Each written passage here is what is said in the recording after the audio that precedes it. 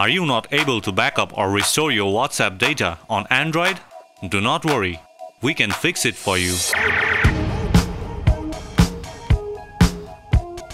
You might see that your WhatsApp backup is stuck at 95 or 99%. Even if you have enough space left, it is also possible that WhatsApp Restore gets stuck and fails abruptly.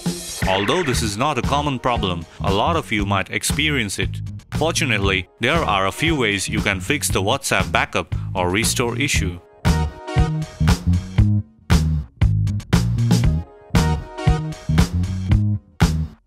If your WhatsApp fails to backup or restore your data, check if a valid Google account is added to the WhatsApp.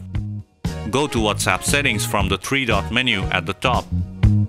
Chats, then Chat Backup, and check if a valid Google account is linked to your WhatsApp. If not, add one from the phone settings.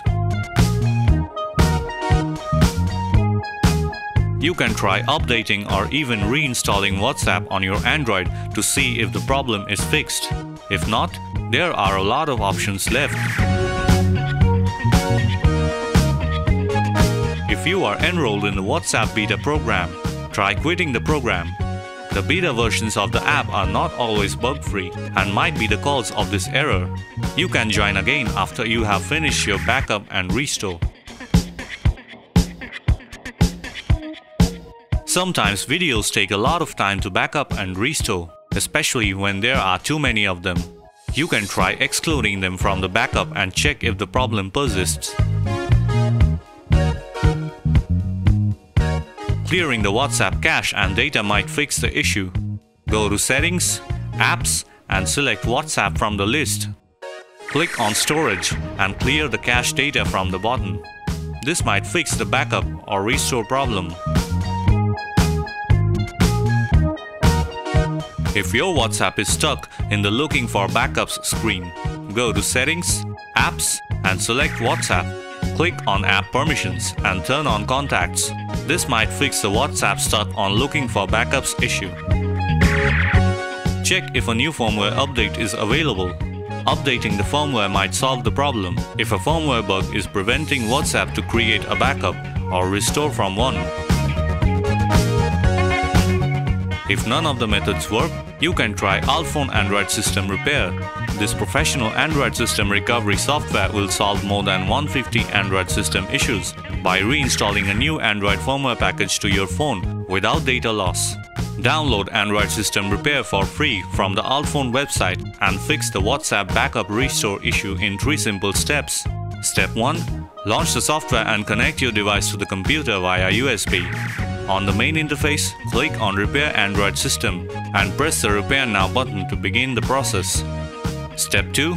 Select the correct device information to proceed. Make sure you enter the right information or you may break your phone. Once the information is selected, click on Next. Step 3. The software will automatically start downloading the right firmware package for your device. Once the download is complete, click on Repair Now. It automatically starts installing the downloaded firmware. Once the process is complete, the phone will restart and WhatsApp shall be able to back up and restore like normal. You can easily backup and restore your WhatsApp data using UltFone WhatsApp Transfer. This professional tool allows you to backup your data to your computer and restore to your device again without worrying about storage or a Google account. You can even restore your data to another device. The application supports all major Android devices. Step 1. Run the software and connect your Android device to the computer via USB.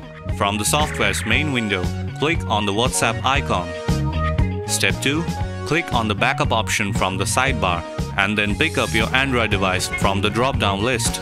The tool will suggest you create a backup in your device using the official way and then it will start getting WhatsApp data from your Android device. Step 3. Enter your country code and phone number to get the verification code. Once received, enter the code and tap on Verify.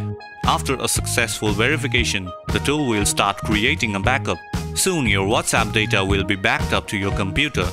Step 4. Now you can restore your data back to your device by clicking on Restore Backup. Select the device that you want to restore to and click on Restore Now. Wait for a few moments and this will restore the backup to your device. Remember that this will override the existing data. So, in this video we shared how to fix WhatsApp backup or restore issue on your Android in minutes.